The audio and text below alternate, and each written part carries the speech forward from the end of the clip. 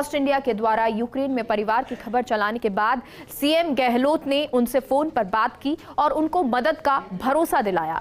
खारखीव में जयपुर के किशोर गुरनानी अपनी पत्नी और दोनों छोटे बच्चों के साथ फंसे हैं। हरियाणा के तीन दोस्त भी इनके साथ हैं। आपको बता दें, किशोर की पत्नी डायबिटीज़ की मरीज़ हैं और इंसुलिन लेती हैं, लेकिन इंसुलिन खत्म हो रही है और सभी लोग अपने दोस्त के ऑफ़िस में बने गोदाम में छिपे हैं। गोदाम को बंकर की तरह बनाया गया है।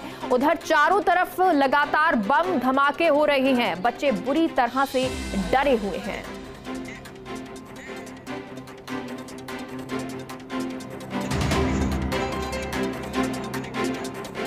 और हमारे साथ यूक्रेन से किशोर गुरनानी खुद जुड़ गए हैं। किशोर जी आपकी सीएम गहलोत से बातचीत हुई? क्या ये बातचीत हुई? जी मैडम बातचीत हुई वो उन्होंने बोला कि आज एम्बेसी में बात करेंगे वो तो एम्बेसी वाले कुछ करेंगे यहाँ बीस पच्चीस फैमिली फंसी हुई हैं। हम्म। करीब तारीखों में। क्या रास्ता निकालते हैं वो? हम इंतज़ार कर रहे हैं। अच्छा। उनका फ़ोन आया था। किशोर जी कितनी देर की आपकी ये बातचीत थी? मेरी करीब दस मिनट बात हुई थी। हम्म, तो 10 मिनट में उन्होंने क्या आपके हालचाल जाने? बाकी क्या कुछ उन्होंने कहा? क्या कुछ पूछा? पूछा आश्वासन दिया कि सब ठीक होगा कोई दिक्कत नहीं होगी सब हम करेंगे ट्राई पूरी। आज सा लेटर लिखेंगे की में पूरी पूरी पूरा सपोर्ट किया है हमें अच्छा राजस्थान सरकार की तरफ़ से जो प्रयास किए जा रहे हैं राजस्थान फाउंडेशन की तरफ़ से उसको लेकर भी उन्होंने कुछ कहा? कहा कि हमने सब तरफ़ दे रखा है आपका। हम्म। पूरी कोशिश की जा रही है सब तरफ़ से। हम्म। कुछ न कुछ रास्ता ज़रूर निकलेगा। जी आ, आ, किशोर जी जी। ये हमारी और हमारे साथ धीरज श्रीवास्तव, राजस्थान फाउंडेशन आयुक्त जुड़ गए हैं, कि जो लगातार जितने भी छात्र यहाँ पर पहुँच रहे हैं या जो भारतीयों से या राजस्थानियों से कांटेक्ट बनाए हुए हैं, उसकी ज़िम्मेदारी लिए हुए हैं। धीरज जी बहुत बहुत स्वागत है आपका फ़र्स्ट इंडिया न्यूज़ पर। सबसे पहले आपसे जानना चाहेंगे, क्योंकि सीएम ने आज एक परिवार से बात की, जयपुर का ये परिवार, जो कि खारखीव में फंसा हुआ है। क्या आपके, आपको उस बारे में जानकारी लग पाई अभी तक? हाँ थैंक यू मेरा ये जो सीएम साहब ने बातचीत का सिलसिला डायरेक्ट स्टूडेंट से और उनके पेरेंट्स से स्टार्ट किया है। इनके नंबर हम लोगों ने प्रोवाइड किए हैं। और कल भी रात में, देर रात 12 बजे, कीव के जो स्टूडेंट हैं, जिसमें लड़कियाँ हैं, काफ़ी भारी संख्या में। और खारकीव में भी जो स्टूडेंट्स हेल्डअप हैं अब जैसे आप लोग को ध्यान है और आप लोग सब न्यूज़ में देख रहे हैं। कि ये वॉर जो है बजाय कम होने के और बढ़ने की तरफ़ अग्रसर है और कहीं से भी कोई मदद नहीं पहुँच रही। तो the question is not that कि कितने बच्चे वहाँ से इवैक्यूएशन फ़्लाइट से वापस आ रहे हैं।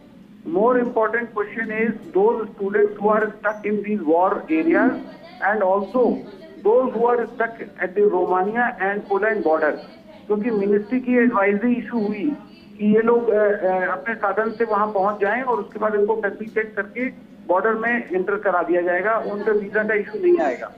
जो स्टूडेंट थाउजेंड्स की संख्या में वहाँ पहुँच गए।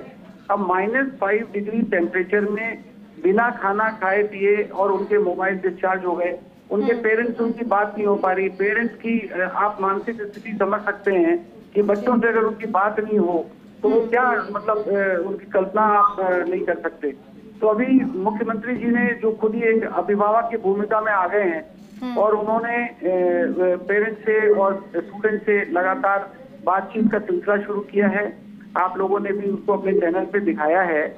और हमारी एमईए से और भारत सरकार से ये गुजारिश है ये अपील है कि अपने सेफ़ पैसेज के लिए प्रोटेक्शन और सिक्योरिटी कवर के साथ में इन स्टूडेंट्स को अविलंब वहाँ से निकाला जाए क्योंकि अब समय आ गया है एक डिसाइसिव स्टेप लेने का और ये जो मिनिस्टर्स का डिसीज़न हुआ है, जो मिनिस्टर्स जा रहे हैं, उनसे भी हमारी यही रिक्वेस्ट है, यही अपील है कि एमईए के थ्रू अपने एम्बेसडर्स के थ्रू चाहे जो भी स्टेप्स लिए जाएँ, लेकिन ये स्टूडेंट सड़क पर ऐसे आ जाएँ और वनरेबल हो जाएँ और किसी भी हादसे का कहीं शिकार ना हो जाएँ इस बात का हमें पूरा इंश्योर करना पड़ेगा कि ये पूरे प्रोटेक्शन के साथ में ये वापस आए।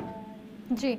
आ, सर कल एक फ़्लाइट आई है। उस फ़्लाइट में कितने राजस्थानी आए हैं? कोई आ, इस बारे में जानकारी है? देखिए रोज फ़्लाइट आ रही है मेघा और अभी आज सवेरे साढ़े छह बजे फ़्लाइट लैंड हुई है जिसमें हमने उनको रिसीव किया दिल्ली में। और ये क्वेश्चन नहीं है कि किसी फ़्लाइट में हमारे राजस्थान के कहीं बीस कहीं पच्चीस कहीं आठ कहीं बारह इस तरीके की संख्या से स्टूडेंट आ रहे हैं। That is not an issue हम बड़े ये खुशनसीब हैं। हम लोग को बहुत खुशी है इस बात की कि ये बच्चे अपने घर अपने वतन को वापस आ गए। और हम लोगों ने उनको एयरपोर्ट से लगा करके जैसे पूरे उनके निवास तक उनके गृह क्षेत्र तक पूरा उनको अपने प्रोटेक्शन में भेज रहे हैं। आ, वो बहुत अच्छी बात है। और कम से कम वो जो बच्चे घर पहुँच गए वो हम सब लोगों के लिए पेरेंट्स के लिए दिलासा है लेकिन मेरी चिंता जैसे मैंने कहा मैं दोबारा कह रहा हूँ हम्म। कि जो रोमानिया के और पोलैंड के बॉर्डर पर जिन बच्चों के ऊपर लाठीचार्ज हो गया यूक्रेन की सरकार यूक्रेन के सैनिक इंडियन के प्रति होस्टाइल हो गए हैं हम्म। ऐसे वातावरण में हमारा जो प्रथम फ़र्ज़ और कर्तव्य है भारत सरकार की तरफ़ से उन बच्चों के लिए चिंता और स्टेप्स लिए जाने चाहिए। जी सर ये आपने बहुत सही बात कही और क्योंकि जब ये युद्ध शुरू हुआ था जो स्थिति बन रही थी उससे पहले ही आप लोगों ने प्रयास शुरू कर दिए थे और एक दिन जब हमारी सुबह बात हुई थी तब आपने कहा था कि हम लगातार कांटेक्ट कर रहे हैं एमबीसी से कोशिशें कर रहे हैं कि अगर ऐसी स्थिति बनती है जब युद्ध शुरू नहीं हुआ था तब आपने कहा था कि हम लगातार कॉन्टैक्ट कर रहे हैं।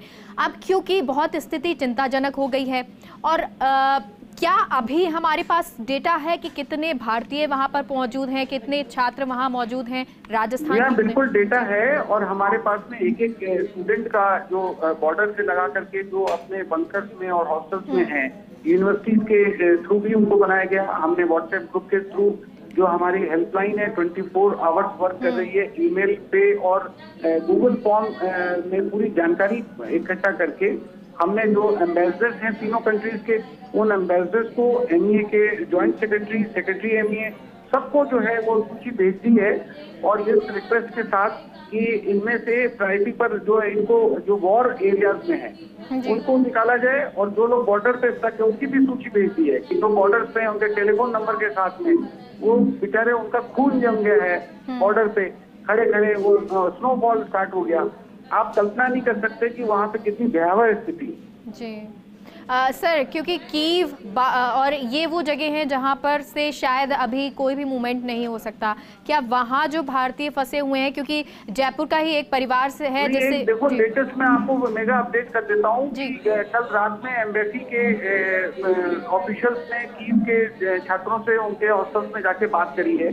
और उनको अब वो कीव से उनका मूवमेंट हो गया है। हम्म। पाँच सौ से सात सौ स्टूडेंट जिसमें राजस्थानी स्टूडेंट्स भी इंक्लूडेड हैं। They have left uh, they uh, heading towards the railway station. और रेल के थ्रू वो शायद बॉर्डर क्रॉस करेंगे।